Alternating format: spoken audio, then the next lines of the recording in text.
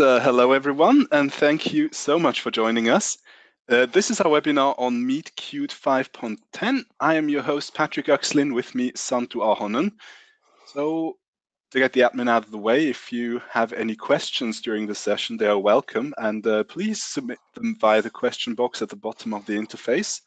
Uh, we will answer those questions at the end. And also this webinar will be recorded. Uh, you will see receive a copy of it along with the slides delivered directly to your email account. So with that out of the way, I hope you enjoy the show and I will hand it over to our expert, Santtu.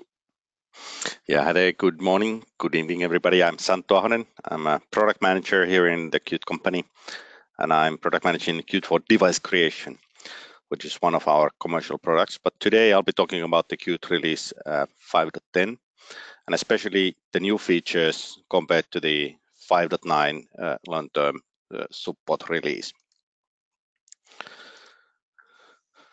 So I've organized the slides in a in a deck to to go through the the key new features on the 5.10 uh, framework itself. Uh, then talk about the the tooling side of stuff, uh, what's new in there, compared to the previous release. Then uh, covering some of the additional uh, content that we have on the commercial side, uh, what's happening there with this release, and then finally uh, talking about both 5.9 and 5.10 comparing to the previous releases and support. So, and if you have questions, uh, uh, throw them at the questions box in your webinar tool uh, we'll be addressing those at the end of the session, uh, unless I'm smart enough and I can pick them up uh, along the way. But uh, we'll try to cover them at the end if, if nothing else. So first of all, uh, we released the 5.10 before Christmas. We are only now having the uh, this session because of the the holiday season, New Year's and, and Christmas being in between. So we thought it's it's more handy to have this session in January here. Um, the 5 to 10 is a, is a quality improvement release. It's a batch release uh, for us. Uh, we are already working on 5.10.1, but um, the 5.10.0 is out. Uh, in that release, compared to the previous ones, we fixed uh, roughly about 300 bugs, and uh, there is about 130 tasks, be, those being new features implemented in this release altogether so so you could say that uh, about two thirds uh, of the release uh, or three quarters depending how you count and how precise you want to be with that but is is about really about the quality improvements and and making it better and shinier and uh, than the previous releases. And of course when you do new releases there is uh, some regression so some of the bugs are uh, obviously just fixing things that we broke but that's part of the housekeeping and doing a release um, the most notably uh, new features are in the graphical user interfaces. Uh, we have now the Vulkan enablers in place. We've updated the OpenGLES APIs. There's a fair amount of improvements in the Qt Quick and uh, and uh, connectivity. And I'll go, go into these details in the upcoming slides. So the graphics enhancements, um, the Vulkan enablers is uh, is one of the weighted APIs. So that allows you to have multiple different screens, uh, hypervisors, virtual machines, uh, and manage those through in, in, in one uh, Qt app. Uh, we can do uh, cross-platform uh, rendering on on Vulkan. Uh, so uh, when we have this Vulkan interface, you can build the application for Windows, Linux, and Androids. we have a new Q Vulkan type uh, that is available for the developers and that allows to embed it into the widget-based apps also. So it's not only for uh, QML apps. And uh, Vulkan is, is extremely useful to add the 3D content into uh, 2D uh, application. Then uh, at the same time in the graphics side, we've done update on the OpenGL uh, APIs. So we now support OpenGLES 3.2 uh, so this is really enabling the development the applications for devices with OpenGLES 3.2. That's quite obvious. Um, we it means that development can happen on a desktop platform on on both OpenGL 3 and 4 uh, generations. And uh, deploying your application to uh, a platform that is supporting OpenGLES uh, 3 uh, requires no change changes uh, in your applications other than compiling it the, for that target. So the Qt framework will take care of uh, all the dirty laundry for you on that area. And somebody is saying that there is no audio on the on the call. Patrick, can you look at that? Uh, yes, I think yeah, I just had a specific uh, problem with Linux and Firefox. The good news about that, we're getting a new webinar tool in the hopefully very okay. near future, Wonderful. so it shouldn't matter. Yeah, sorry about that, mates. Uh, for whoever can't hear it, but it doesn't make sense of apologizing for that for somebody who doesn't hear. I'll move on back to the business. So enhancements on the on the Qt Quick side on the we've totally redone the gesture framework. Um, so earlier we had uh, uh, limitations in the gesture framework. So this has been totally reworked, uh, been uh, quite a bit bit of a work, and it's a technology preview in 5.10 release. So it's not a final part of the the uh, content. So it's not 1.0 dot all of the gesture framework. It's a technology preview. Uh, what it really allows is that uh, you can, for example, grab node object on the screen and then drag it, and and while at do, doing it, you can uh, have other touch events in your application. Um, you can handle that touch events uh, on multiple different screens. Um, uh, so it really supports nicely the Vulkan um, uh, that we have. You can also have multiple different cameras to recognize different camera gestures and we can support these different camera inputs at the same time. Uh, and it has a, quite a number of uh, other smaller details like the single tap handles, drag handlers, uh, multi-point events, uh, uh, so more than more than two, uh, and and pinch handlers automatically. So this is a big improvement for those who are fiddling with the touch interfaces and especially implementing solutions with that have more than one screen, possible multiple cameras.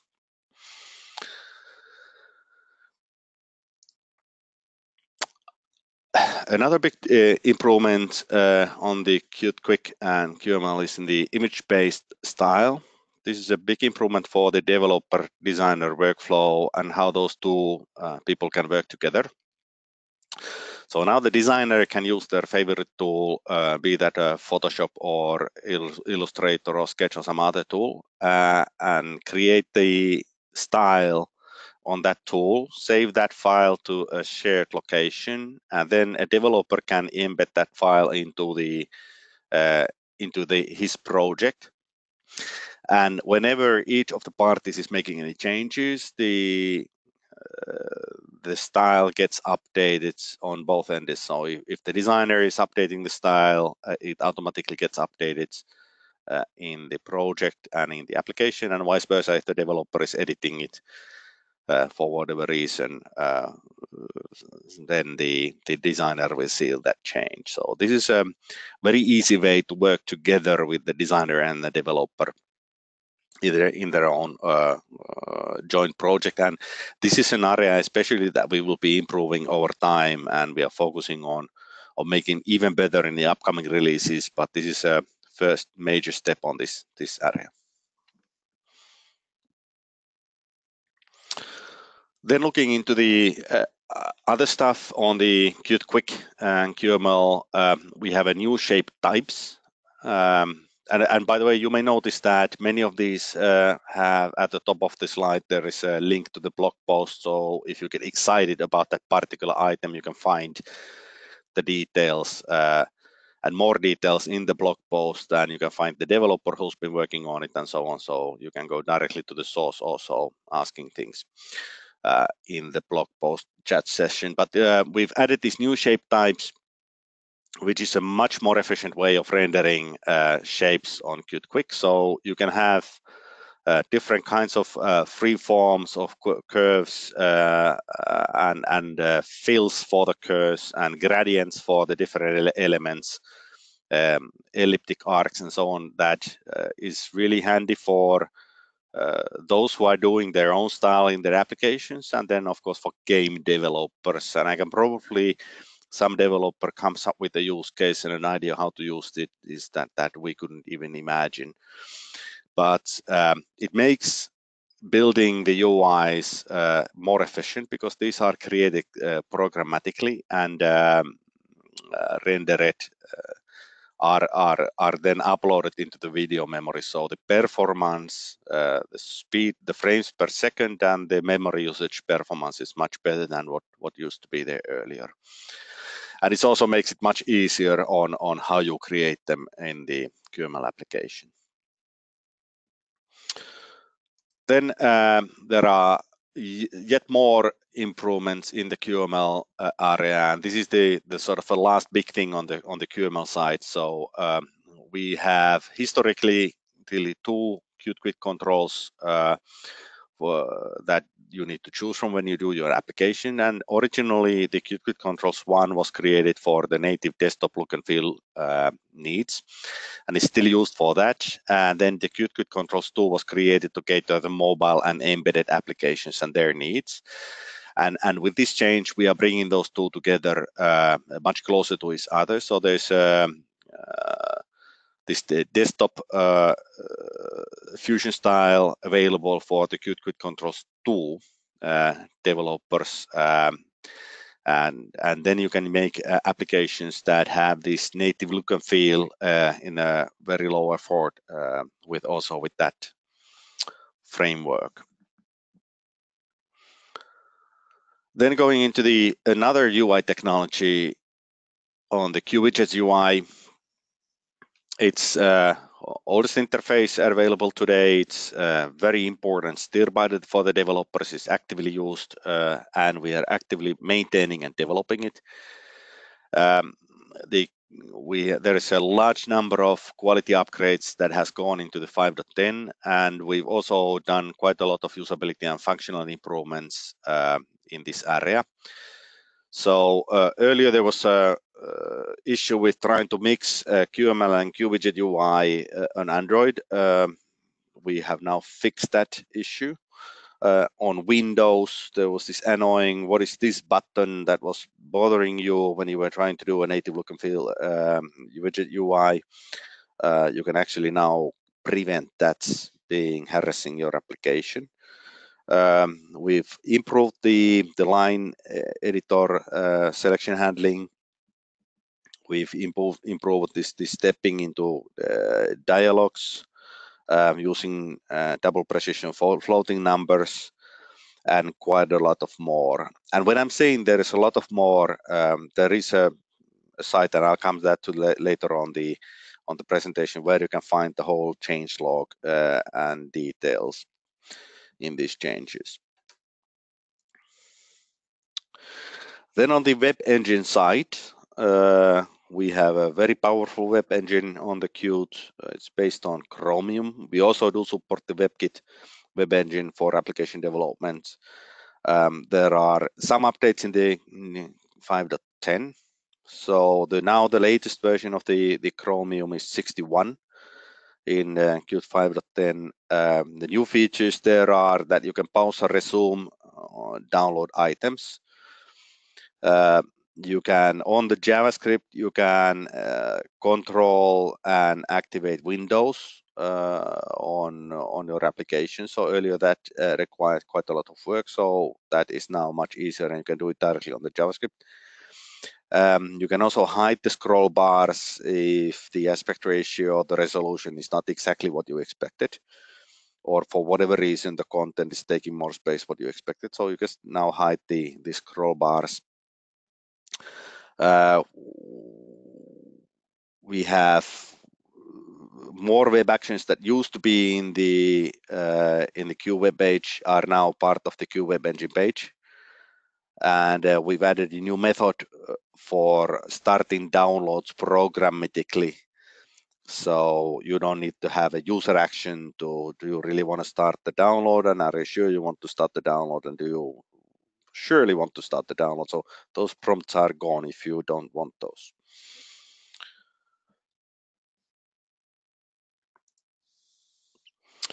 Then uh, on the virtual keyboard, uh, virtual keyboard is really important uh, for developers who are working on the operating systems and environments that don't have a native virtual keyboard. Uh, I have also seen this being used on also on on environments where there is a native keyboard, but it's not supporting the use case or the needs uh, uh, for the application developer. So it's also been used in those cases. So the virtual keyboard, what we have is a very extendable, uh, very customizable.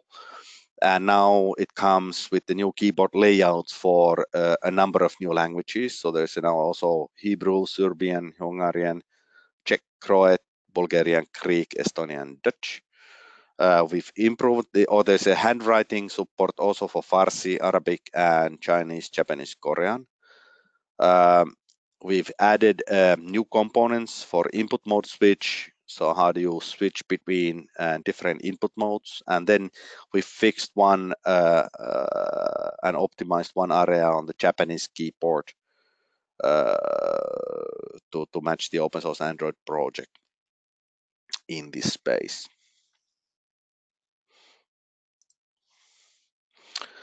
Then on the Bluetooth, um, Bluetooth low energy, uh, really key uh, radio technology for uh, nearby nearby devices. Um, the new thing in the 5.10 is that it now also is working on Windows. Uh, it wasn't working on Windows desktop. Uh, we had some native integration issues with the operating system, but those are now covered and fixed and it's working in the 5.10. We already had that on other operating system and other environments. So this is a new thing for the Windows users, if there are any out there. Um, there are a lot of enhancements in the in the Qt core. So this is the the link that I advertised. Uh, you can actually there are uh, enhancement and improvements in pretty much all areas of Qt. So when I did the list and, and went through the, all the changes, turned out to be that it's it's uh, probably easier to find uh, or much shorter list would be to find the list of items that have not been touched. So the full full list of, of changes in this in the wiki and uh, and the address is here on the slide. So you'll get on that on the material uh, when Patrick puts it out. We also have a, a few uh, new models. So there's a QNetwork authentication model uh, that allows uh, user authentication on, on web using OAuth 1 or O authentication tool. Um, there is a Qt speech module, which is really handy for accessibility when trying to turn the text to speech or or if you have uh, situations like no hand situations, uh, possibly in the, for example, in a car or or on a motorcycle, turning things uh, in the UI into speech. There is a module for that now. Um, there are also technology previews, uh, new items. Uh, I already covered the Qt Quick pointer handlers, which was the gesture framework done right. Um, there is uh, also a Qt remote object uh, on TP2 for, for sharing Qt object APIs between processes and devices. So this is part of the uh, uh, also links to the what I was saying earlier into being able to support multiple screens and multiple different um, virtual machines uh, and, and processes uh, in one application. Uh, then we also have a WebGL streaming, which is really cool technology for headless devices, and that's on the next slides. So this is a technology preview. It's not yet uh, uh, final, so we expect that we will finalize it in 5.11. Uh, now is the right time to play with it, uh, find any gaps or issues or bugs, uh, tell about those to us, and we'll fix them for the final release but it's technology you can use for uh, remotely manage an application on a standard browser. So the standard browser can be uh, pretty almost any modern smartphone or tablet or uh, other device has a standard browser and they support WebGL streaming. So your application can open a socket for that need. And it uh, allows to share the screen from the application in the browser and then it has a user input channel for uh, getting back the user interaction with the application. This is a great use case for example uh, and i hate to repeat the car industry on this one but for example on a car in the entertainment system uh, there could be a mechanism to, to provide a UI or some entertainment or content for children on the back seat using their standard uh, smartphone. It's also another typical use case is that somebody is doing an Internet of Things uh, devices that don't have a screen at all. Um, uh, but whenever nearby comes uh, a device which has a, a browser that IoT device can be then contacted and, and connected and uh, managed through WebGL streaming. It's actually not a totally new way of, of doing stuff on Qt. We already had the VNC server on 5.9 release. So the previous release we released on, if I remember right, that was in May or, or early June. I can't remember the exact date. Um, but uh, it's a similar technology allowing similar use case, uh, but it's uh, of course different protocol and different technology. So there are minor differences on what you can do with each. And I'd advise you to go into the documentation and, and, and, and read them thoroughly to understand which one do you want to pick. So that ends the section of the, the basic framework key new highlights. I'm moving into the tooling side. Uh, the Qt Creator 4.5, uh, if you download the Qt uh, 5.10, that comes with it. So it's part of the package, uh, and we release it as part of the, the made these these Qt updates. So the Qt Creator 4.5 uh, has also quite a lot of performance and uh, usability improvements um, there is uh, something which should make every developer happy uh, in improvements in the code editing and in the Clang code mode uh, model. Um, there are inline annotations, which is an inline helper for uh, C++. So if you make a typo or you make a mistake with uh, mm, uh, you with the which component or or, or variable you want to target, it can help you in fixing those. Um, there is a static analyzer uh, integration. Um, there's a uh, smooth scrolling inside a file, and uh, we've also improved the code highlighting uh, on on how you can actually pick different parts of the code uh, easier. We've also made some improvements on the on the building, on the CMake support. We've improved detection of the cross compilers. Uh, and there is a much improved uh, iOS and Android development uh, support, and I'll have a few slides on that topic coming up later. So um, then on the deployment side, um, there is a new UI for managing the Apple devices simulator. And there is a uh, improvement on de deploying to Windows 10 IoT devices on the Universal Windows platform. So, so there's a hiccup there, so we fixed those now in this release. And somebody asked, you know, about the support date limits. Uh, I actually have a slide on that, so it's coming up mm, later on the presentation. So uh, on the tooling side, uh, on the Qt Quick Designer, um, we have done quite a lot of improvements in there. Also, there is a the big thing is the side-by-side -side editing on the QML and on the Wysiwyg editor. So when you open the QML file, you can edit the QML code directly, and you can see the edits uh, and the impact of those edits directly on the Wysiwyg editor. And then you can drag and drop stuff on the editor and change the variables and parameters on the editor, and you can see those changes also on the on the QML file. Uh, we've uh, improve the way to create and manage the custom QML components. So when you want to do your own uh, custom components, um, there's a better way to do it.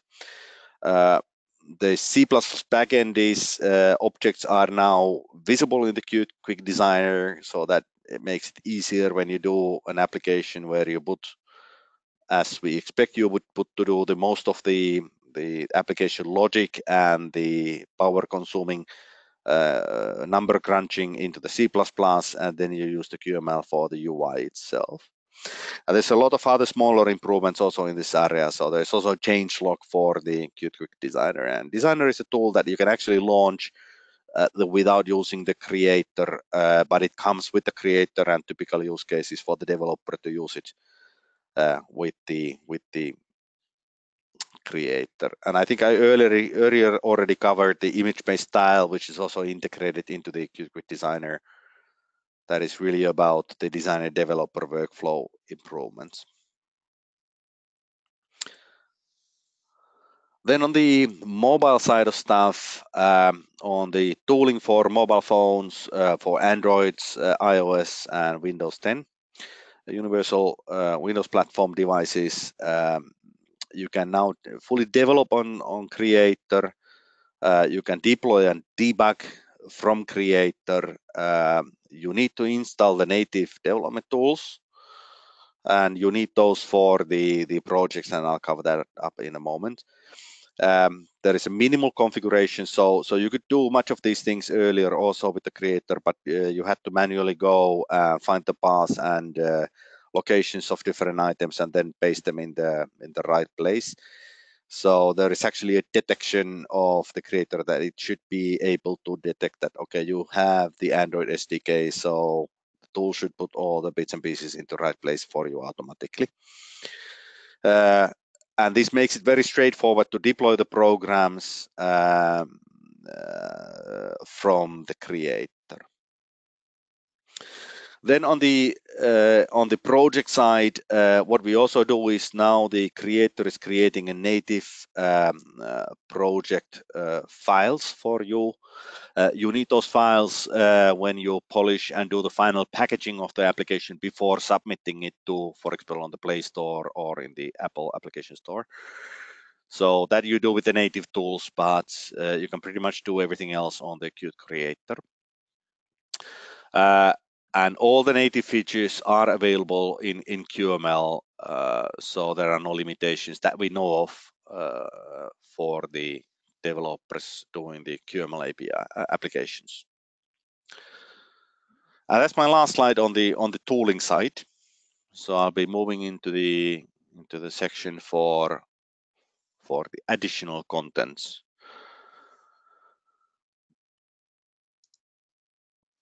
So there's a totally new tool, uh, Qt 3D Studio. Well, it's not a totally new tool, but it's a new tool for the for the Qt. Um, so um, it takes the 3D UI creation uh, on the Qt tool uh, family, totally a new level.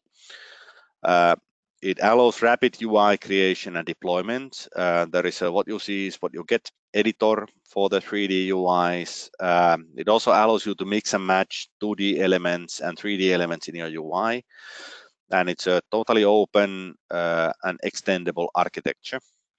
There is a full session for uh, an hour uh, with Sami in the, I think it's next week, 16th uh, of January and 18th of January in a similar time slots what we had these sessions uh, this week for the Qt 5.10. So I'd advise if you are interested in 3D and the cool stuff which is happening on the 3D area, uh, please join that webinar.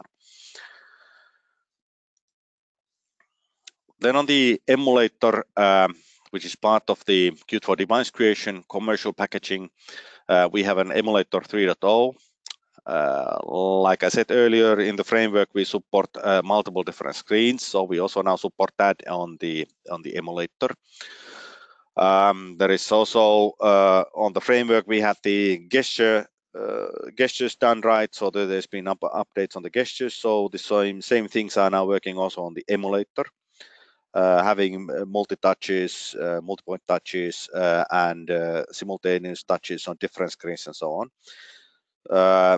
and there is a we've been cleaning up and simplifying the plugin interface for the emulator on how do you create your own extensions or if you need to do for example simulations on uh, maybe changing a, a GPS location or or maybe uh, adding sensors into your applications through the emulator. So there is a cleaned up um, plugin interface on that area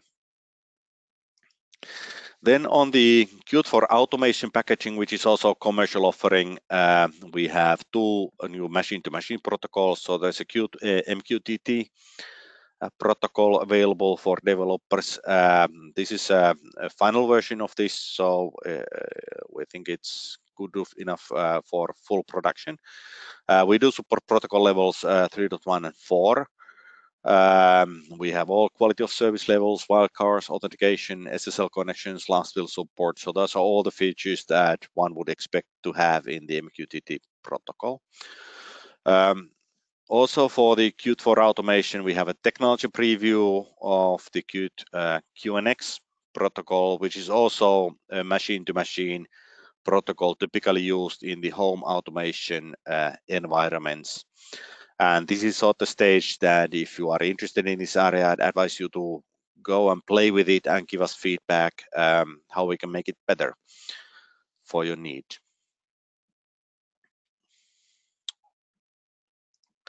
And that was the, the end of the additional content. So the final section is coming up and then we'll go into those uh, questions, uh, all of them. So um, talking about the regular releases and the long-term support releases. So um, regular, all the releases start their life as a regular release. So we are gearboxing our uh, our releases. So the 5.10, 5.11, 5.12, we are releasing uh, a Qt release in in roughly twice a year. So it comes in every six months. Um, one of those releases is then nominated into long-term support release. Uh, the nomination process is part partially business, uh, but it's also partially quality quality discussion. And we aim to have that we always have at least one long-term support release available for our customers. Um, the difference on these releases is that the both of them start their life as a as a feature evolution uh, releases with uh, bug fixes and, and and feature evolution but then on the long-term support release, um, uh, the focus after the first release, the focus turns into stability, security, and performance. Uh, and and really in terms of budgeting and, and, and resourcing, we plan the updates for three years, whereas on the regular release, the updates are planned for maximum one year from the release. For both releases, uh, commercial customers can uh, purchase extended support. Uh, there are really limitations how old releases we will grant that, but uh, there's an extended support packages available. Um, we do patch releases uh, upon demand. So uh, patch releases are not gearboxes. we do them when needed. Um, typically, the first release comes fairly quickly, and the second release is not so quick, and so on. Um, patch releases, uh, especially on the regular releases, uh, we want to be very strict that they only contain security and error corrections, whereas on the long-term support releases, because the commitment is for three years, we do sometimes add some minor feature improvements. Um, or if there are um, operating system updates uh, and discontinuation of the older operating system, those we need to put into the, especially into the longer term support releases. And uh, both the deprecated modules and technology preview models are not part of the support commitment. So that's why it's also uh, we when we are not yet ready with the fire with the components, we label it as a technology preview, and it's excluded from these these comments. It's a beta. Then talking into the the releases that are currently out there.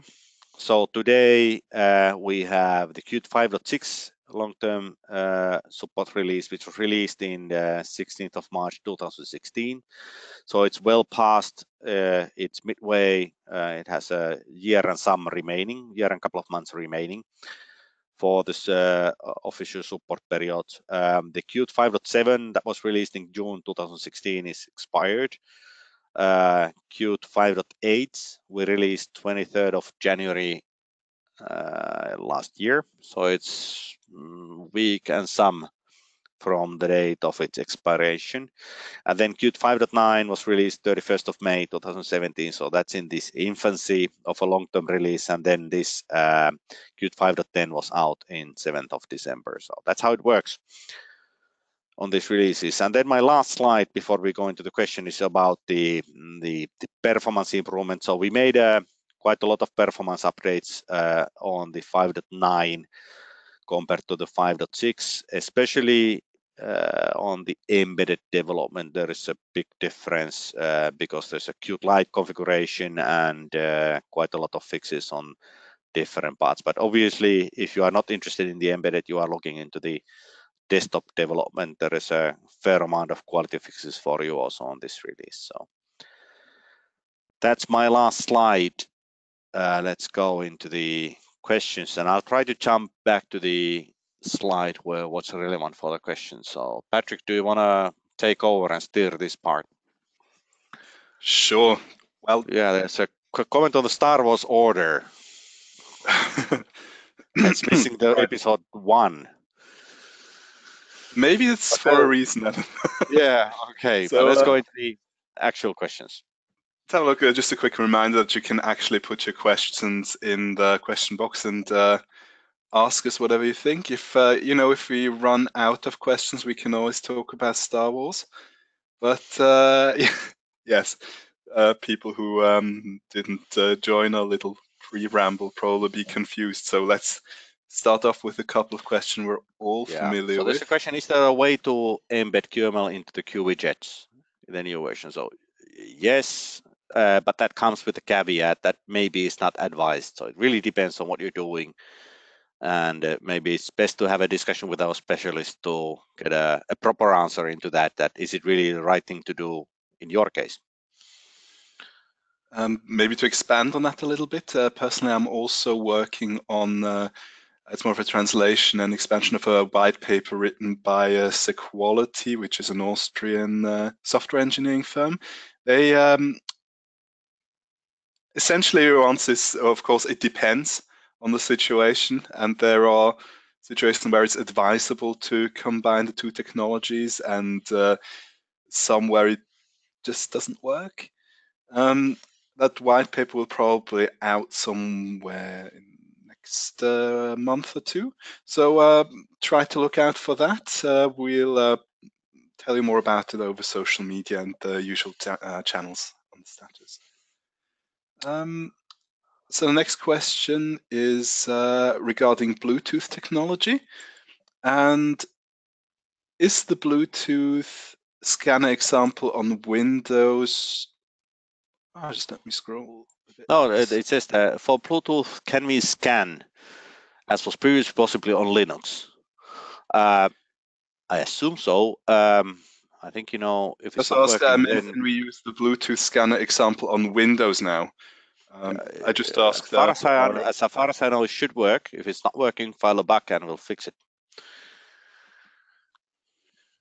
Right. Uh, next one. Will the Spectre meltdown vulnerability in Chromium be fixed for Qt Web Engine? And uh, in which Qt versions uh, is the patch going to be? The patch is going to be merged. Uh, yeah, the I, I know that the Spectre meltdown may be impacting on the Chromium. I think you know it will be fixed at some point. I just don't know what is the right date of when the fixes are in there. And I actually I'm not intimate enough with that technology to understand what really is actually being fixed. So uh, maybe you know discussing with the engineering forums or directly through bugs is the right way to Uh, there was also a question about the support date limit for Qt 510 and if it's LTS. I think you pretty much answered that I think one. I covered that already. I hope it's clear. So the support end date for 510 is uh, a year from release. So that would be early December this year. And then, of course, if you are building your business on it, so um, you can always buy the extended support package. Well, here's a good question, uh, slightly related. Uh, for those, uh, uh for our new Qt project, should we use Qt 5.9 or 5.10? Qt 5.10 has new features, but its support will end sooner than for Qt 5.9. Yeah, yeah. The, this uh, it depends what you're doing. So if you don't need the new features, you know, go for 5.9. It's quite obvious. If you do need the new uh, new features, then you may go with the 5.10 and then upgrade or you buy an extended support package. So it really depends on your use case. Uh, I can't give you a, a, definite, there is no one right answer. All the answers are right. Plus the new features, they will also be supported in the future, most likely. Yeah, on the next releases, of course. Intention is not to build a new new feature and then you know take it away on the next release. That wouldn't make any sense. So, of course. So for further in-depth question, if you want to maybe discuss it with uh, one of your experts and uh, give you some time to elaborate on your situation in general, um, a good place to send that question to is info at qt.io. Or on your website, you always uh, can find a way to contact us and uh, talk to us about uh, your projects and your challenges. Um, does the Qt virtual keyboard style switching depend on graphic population style of writing, or what does that mean? Um, Carlos, can you elaborate the question? I'm also, you know, uh, does the Qt virtual keyboard style switching depend on specific population style of writing, or what does that mean?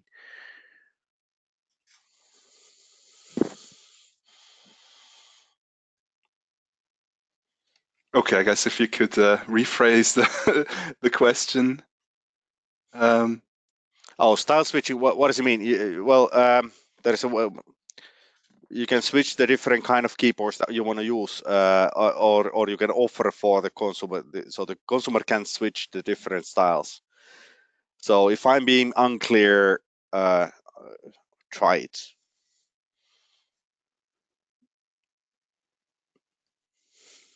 Can you compare 5.9 LTS features between GPL v3 license and commercial license?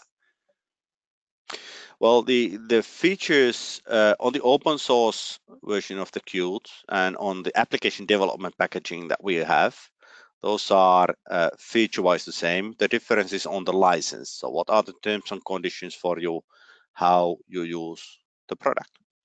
Then on the on the we also have these other commercial packages like the Qt for device creation and Qt for automation and other bits where we have modules that are not offered as part of the open source offering. So they are commercial only. Um, does either 5.9 or 5.10 support the high dynamic range and wide color gamut APIs on Windows and Mac OS? Or do we need to make direct OS calls for these? I can't say. I um, I think we need to talk to a guy who's actually working on that area. Right. Um, maybe check this out in the blog. There's so, a, so quite a couple... something that you you could get in touch or or Adams D Adams, if you could, you know, send that for us at info at qt.io, and we can look into that. We'll find the engineer who gives you specific definite answer. Right. So um, uh, let me know if there are any more questions. It's been uh, running quite well so far. In the meantime, um, do you, sound to know of any Qt technology uh, used in the production of Star Wars? Uh, well, we wouldn't be able to disclose that kind of uh, data if it's a customer-specific data. So those are always confidential to the customer. Uh, having said that, also we have a lot of customers who are using the open source Qt. Uh, we don't know all of them. So possibly, quite likely, I can't say. You might uh, well, I'm not saying anything here, but you might, uh, you know, some of the new laser lightsabers, you might wonder why they have a distinct shade of green that's a bit reminiscent of uh, our company color. This is just as a small observation.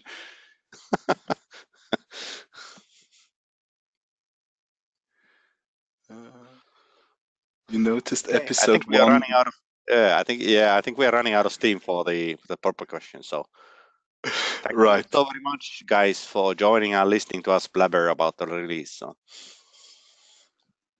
And Star Wars and uh, other things. No, well, thank you all so much um, for joining. This is about all the time we have then. Uh, if you have uh, any more questions, just as a um, repeat, uh, send them to info at qt, qt.io, and we will answer them for you. So, uh, and also if you enjoyed yourself, um, uh, we have a couple of more webinars lined up. For example, next week, we will have Sami Makkonen over who will talk to you about Qt 3D Studio. Uh, for those who don't know, Qt 3D Studio is our cool new tool, which uh, makes it super easy to create 3D user interfaces, both for developers and UI designers. And uh, well, the cool thing about it is also that you also can, uh, it's quite fast. So uh, this is the webinar you might want to listen to if you often want to create quick UI mockups to show your customers or look for something that lets you iterate quicker, uh, more often, more efficiently. Um, that will be next Tuesday and Thursday for the different time zones, as uh, Santo already mentioned. If you have some input or feedback, um, you know, what you'd like to change, what you'd like to hear about, uh, suggestions for further webinars, um, submit that in the survey that follows after. And um, yes, um, Santu, any parting words? No, I think we're good. Thank you very much. Those were good questions. Sorry I couldn't address them all, but you know, we'll find an answer for you. We will. Until then, um, we wish you all a great uh, day, evening, night, wherever you are. And until next time, take care. Cheerios.